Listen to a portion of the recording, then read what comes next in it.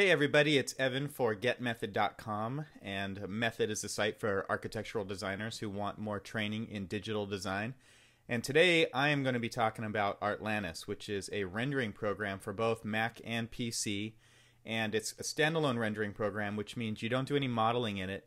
You strictly do rendering and animation. And what we're going to do today is take a model from Bonzai, which I built, and I'm going to take that into Artlantis and kind of show you how to use Artlantis if you've never used it before or if you need a refresher on how things work.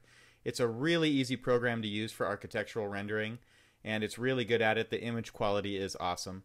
So I definitely want to show you that.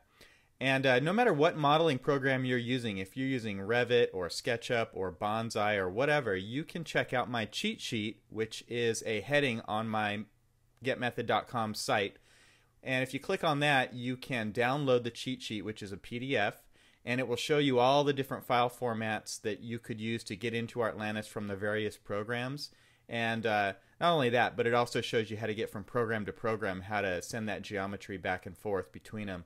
So check that out, and it's a free PDF. I'd love to hear what you have to say about it. Uh, right now, I'm going to jump into Bonzai and then into Artlantis with our model. So let's go ahead and get started.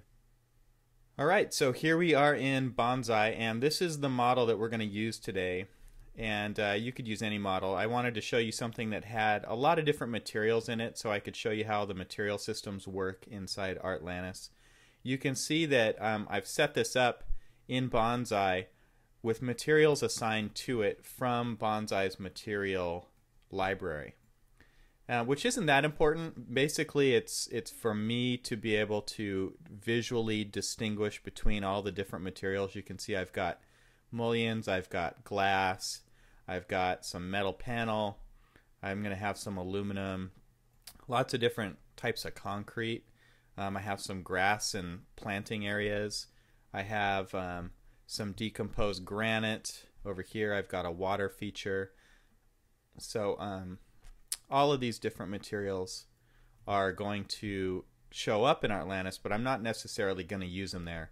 Um, so it is important when you're working in your modeling program, no matter what it is, that you set up the materials ahead of time. And they can just be different colors. They don't have to be photorealistic or anything. You could just use default.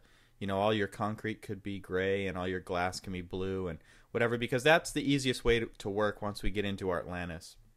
It will look at all the different colors of your model, and then we can assign materials based on that. Okay?